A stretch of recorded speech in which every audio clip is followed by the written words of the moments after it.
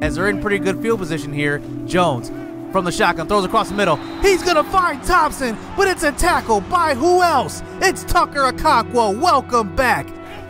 So now third and 11. This time Jones. He's gonna try to buy some time. Roll out to the right. Throw back to the left. It's picked off. Tucker Okonkwo. Welcome back, fella.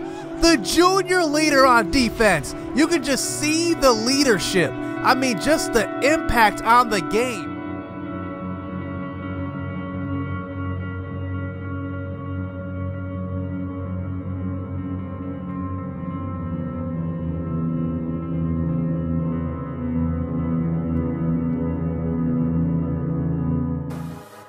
Yo, what's good, YouTube? This is Jay from TNJ, and welcome back to the Rivercats Dynasty. And we are here for our final rival game of the season.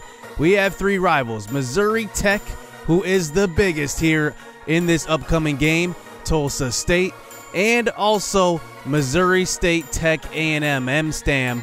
But Missouri Tech is our biggest rival. We save the best for last. They are 7 and 1, coached by former Whitetail Tucker Okonkwo. He has had great success with them, and you could just see he's on his way to maybe possibly a title contention. Maybe we'll have to see. So looking at their team, they are very well balanced, well disciplined. It's a Tucker Okonkwo coach team.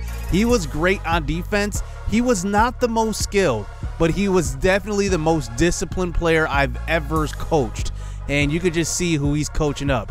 DJ Smith, a certified top five pick in the upcoming NFL draft. He is leading his team in tackles.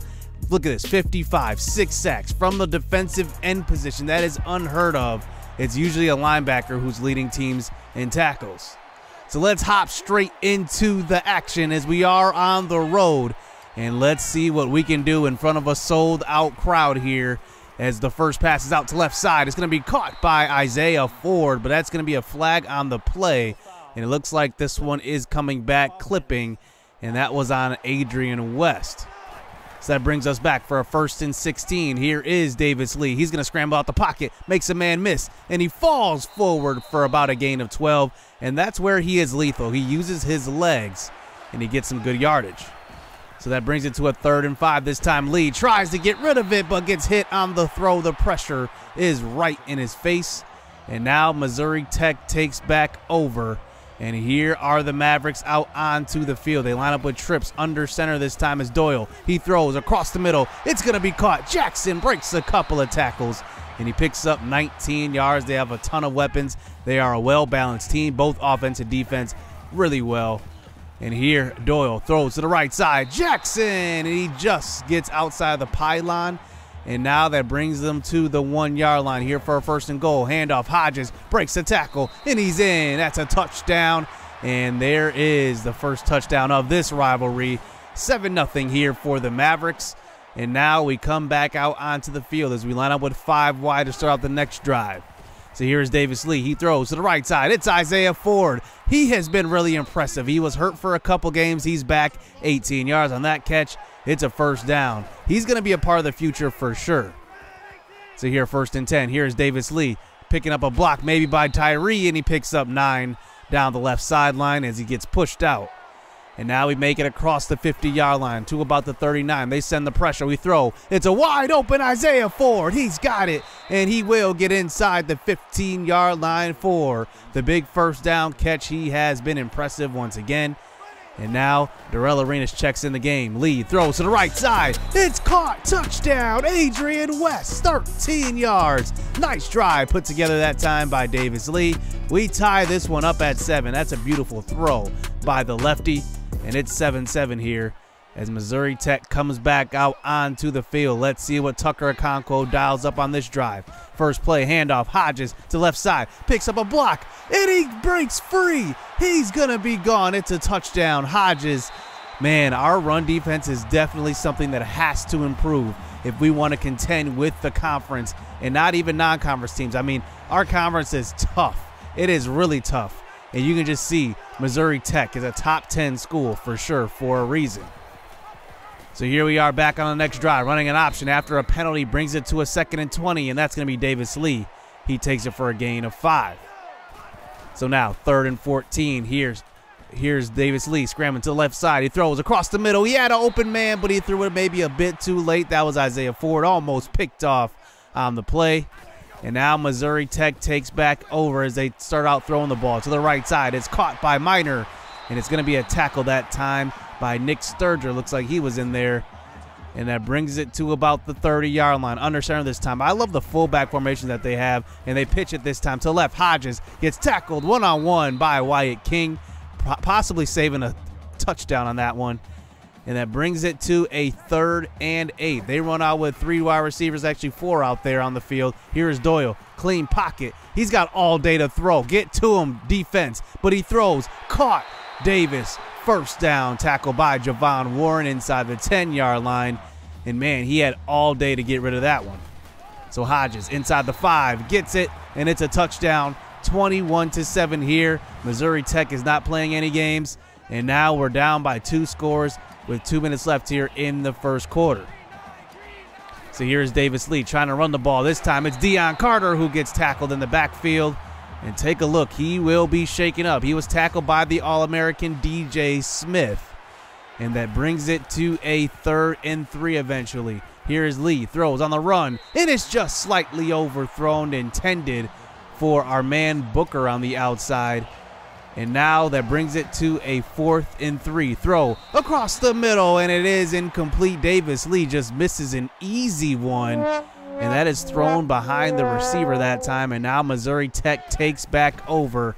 And now here's Hodges on the next play. Pitch to the left side. Look at the blocking. And he gets stopped by Ru Ming at about the three. And now first and goal for this Missouri Tech team as they come out here with a jumbo package to the left side. Hodges, he's free. Touchdown.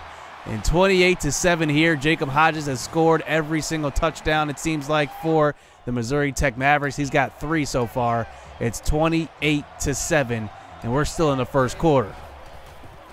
So here's Davis Lee. Look at the pressure they're sending from both sides. We should have got rid of it to the flats that time, but we lose 11 yards as that brings it to a second and long as we start the second quarter.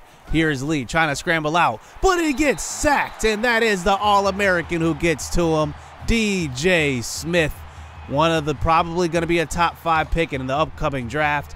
And now we are down 36 to 7 here in the second half as Missouri Tech takes back over. And here's Hodges trying to run the ball. He gets tackled by Javon Warren, our leading tackler. And that brings it to a third and five. Doyle throws. It's a big hit by Wyatt King. Take a look. He picks him off of his feet. And that brings it to a fourth and one. Let's see if we can come up with a stop here. Hodges, handoff, but the blocking is just too good. Jerry Pinnan saves a touchdown on that one, but it's a gain of eight as Hodges goes over 100 yards on that carry. And now they get it inside the 15. Quick throw. And it's going to be Dominic Johnson. He gets to an eight yard line, tackled by Kyron Favors on the outside. And that brings it to a second and two. Doyle throws across the middle. It's a touchdown. Danelle Davis, he's got it. And now this game opens wide open.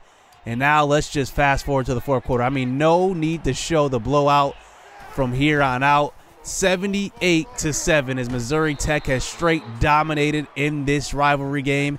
And here is Rondé Floyd in the game. He's actually a cornerback, lined up at receiver. But he is he does show some good receiver skills. He's gotten in just a little bit. So here's a catch on the left side. It's Jeremiah Harris, the backup tight end, and he picks up 12. And I did use that two tight end package earlier in the season. I did go away from it a little bit just to see what other players have.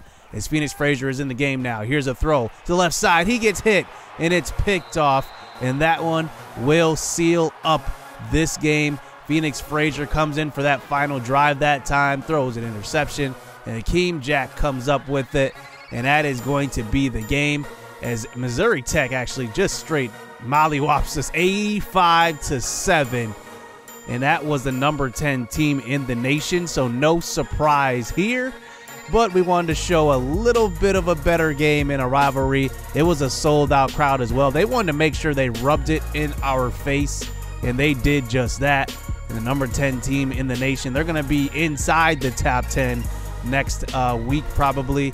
Uh, West gets our only touchdown in the game, four receptions for 37 yards. Isaiah Ford continues to impress, but he does have some drops here and there as well. He had 63 yards receiving. And then on the defensive side, uh, Wright and Moore, Cecil Moore gets a sack. You know, one guy that I have liked this year is Cecil Ford or Cecil Moore, but I think he can improve in the offseason. Maybe moving him over to defensive tackle. Xavier Phillips has been non existent the last four or five games. He was our lone star on the defensive line probably through the first three games, but he has definitely not been there as of late. So now we go up against NIU, who is three and six, one and five in the conference. And if you remember, uh, last what was that two weeks ago? They actually got blown out by M Stam in a very weird game. But you can just see the injuries coming to this game. Edwards is hurt. It looks like Carter is going to be out a few weeks as well. He got hurt in the last game. So we are definitely banged up a little bit as Halka is also still out.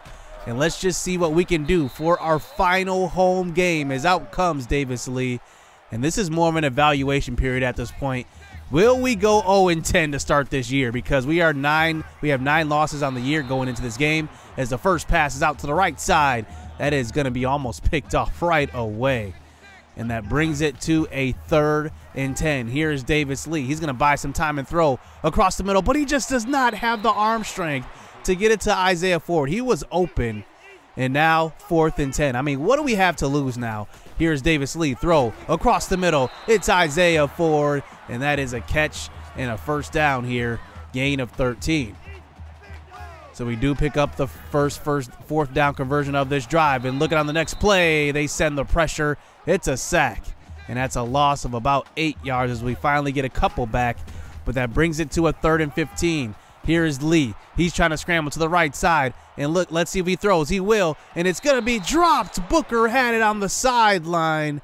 And wow, so many drops here in this season. And now fourth and 15. Throw. Booker makes up for it. He uh, lunges out and gets that one. Gain of 18. It's a first down there for Booker. And now we get it to about the 47 yard line. Here is Lee. He's going to throw to left side. He's got Booker, who breaks a couple of tackles. He picks up a block and he gets down the sideline. He throws a stiff arm and makes it to about the 18. Gain of 35. Booker does have heart. That's one thing that I love about him. I compared him to Dez Bryant before the start of this dynasty. He seems to be that type of mold. He's just a powerful receiver. He's not going to run the crispest routes, but he's going to get it done. So first and 10, scramble to the right side. Here is Davis Lee, touchdown, 18 yards for the quarterback. And we have our first opening drive touchdown, I believe, of the season, and we make it 7 0. One of our first leads here in this in this dynasty as well.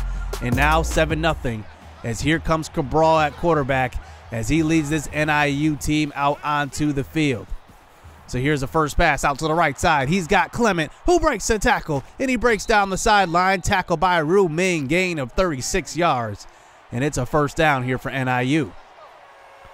So now we look to send the pressure, but we change our minds at the last second. Cabral from the shotgun. He throws wide open McKinley, his running back, and he gets pushed out of bounds. And that's a gain of 25 for Robbie McKinley. And now they get it inside the 10 yard line, lined up here for a second and goal. Let's see what they do. They're going to hand off this time to McKinley, who picks up a block, breaks the tackle by Kyron Favors. He's in. Touchdown, 7 7, just like that. NIU strikes back.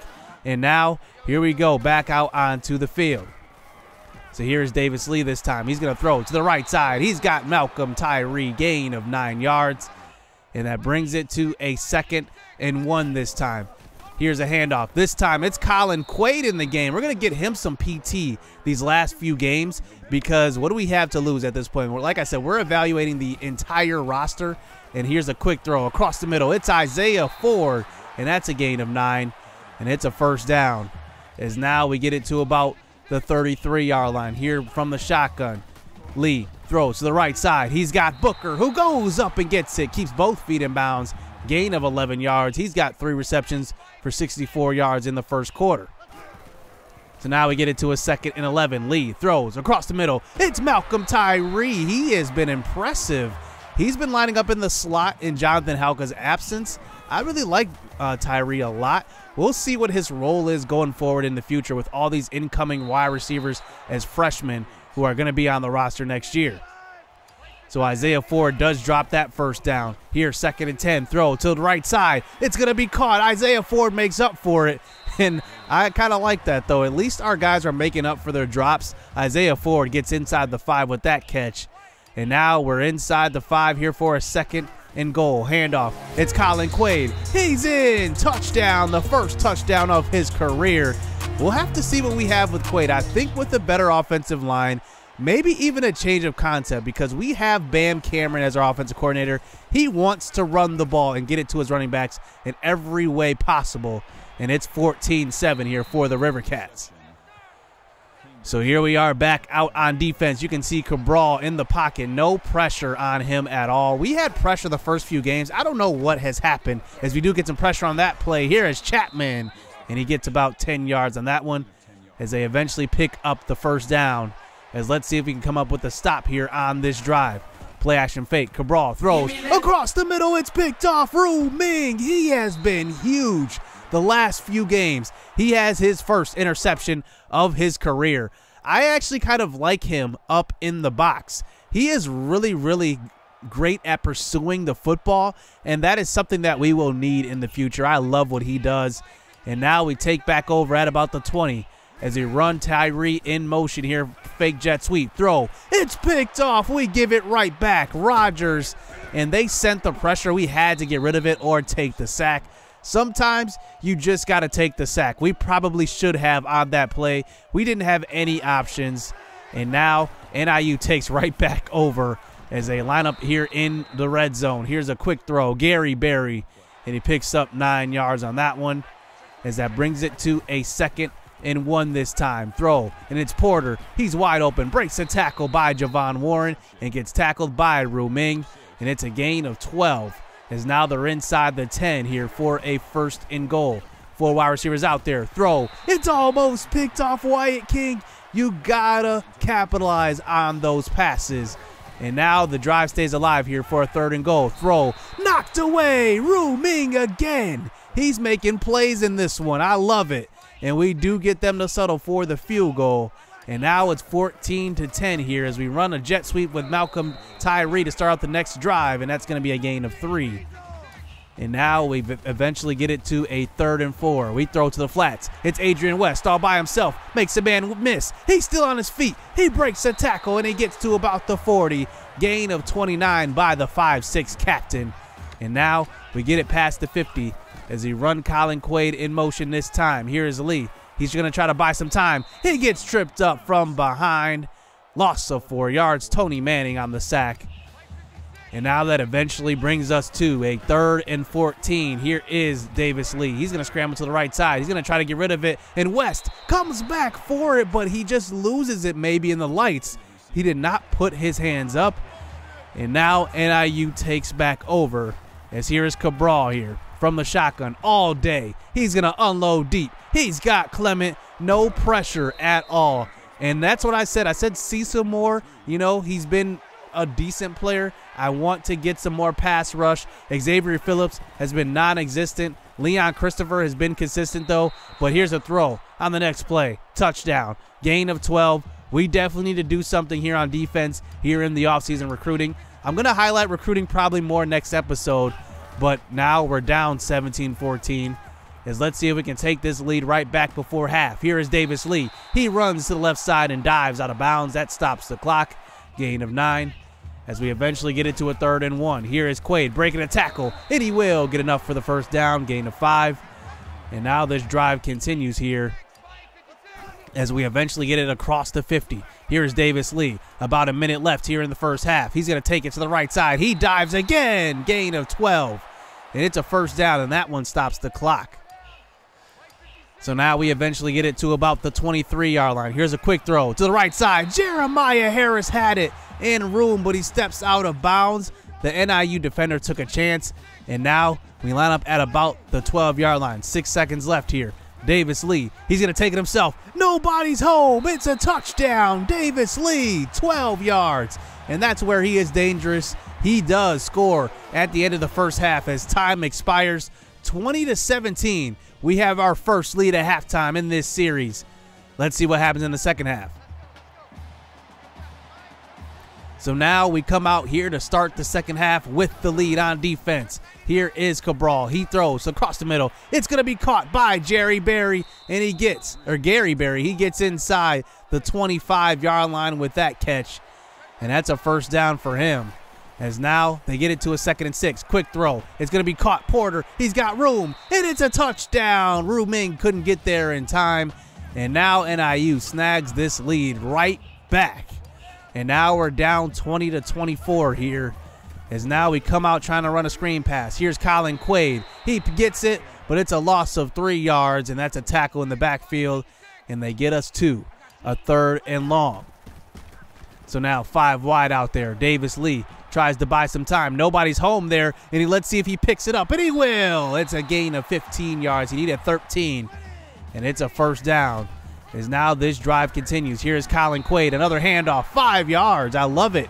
They're blocking well for Colin Quaid this game, even though he only has nine yards carrying off of just seven carries. So play action fake this time. Here's Davis Lee trying to buy some time. He throws to the sideline, and it is dropped by Isaiah Ford. That was a first down on that one. And now fourth and 11. That one could come back to haunt us. Let's see if it will. From the shotgun this time. Davis Lee throws, and it's Ford. He makes up for it on the sideline, gain of 15. There we go. At least he makes up for it. He's been doing that quite a bit in this episode. And now here to start the fourth quarter, running the options the left side. It's going to be Joshua Paramore running in motion, but Davis Lee keeps it up the middle. It's a gain of three yards. So now, third and seven this time. Davis Lee throws, and it's going to be intended for Colin Quaid, and he wasn't expecting that but he was open. He probably could have had at least about six or seven yards, but it sets up a fourth and seven. Lee, nobody to left side. Let's see if he can get to the edge, and he can't. He is going to be sacked, loss of 10 yards. We thought we could run everybody to the right side and have the left side of the field open. It didn't work. And now NIU takes back over. So here's Cabral this time, running the option to the left side, and he will get stopped behind the line. We do need to stop on this drive and get the ball back. And now we get him to a second and long. Cabral throws to the right side, and it is Jeff Porter. And he picks up a gain of 15, and it's a first down. And now they get it across the 50 yard line. Six minutes left here in this game. Cabral throws wide open. Porter again. He's pushed out of bounds by Nick Sturger.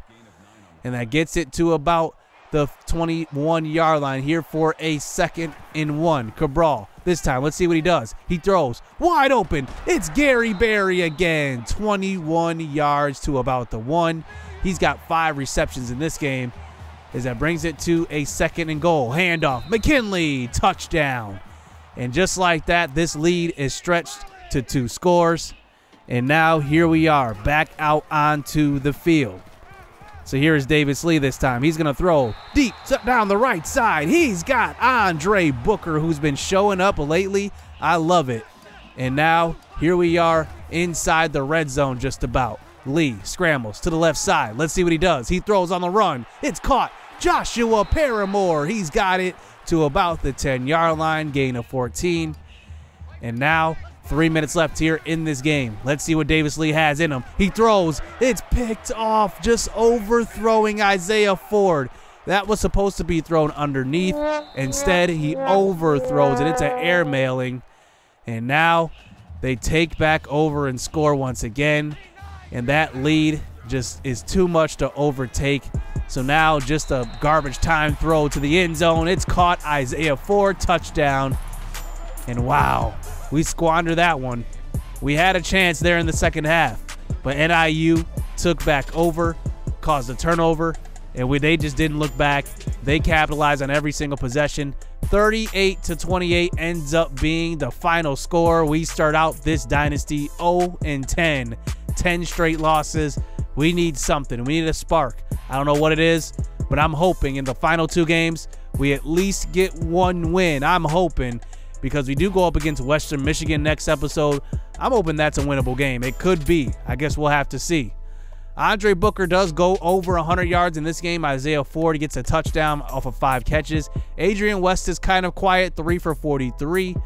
And then on defense, Ru Ming has been impressive so far in these last, I'd say like three games or so. I want to see, based on you know what these guys do in the next two games, who's going to really be competing for a starting job next year. I think every position has an open competition, including every receiver position. Maybe Adrian West has his. Isaiah Ford is, has the tight end position locked down for sure. But then I think the other positions are definitely up for grabs. And just looking at how this game went, we had 507 total yards of offense, and we still lost. I mean, those are the type of games we've been losing here in this season. So hit subscribe, hit that like button. Next episode will be a little recruiting plus a doubleheader, so stay tuned. Let's get it. Let's go. I be trying to do me, but they be trying to copy though.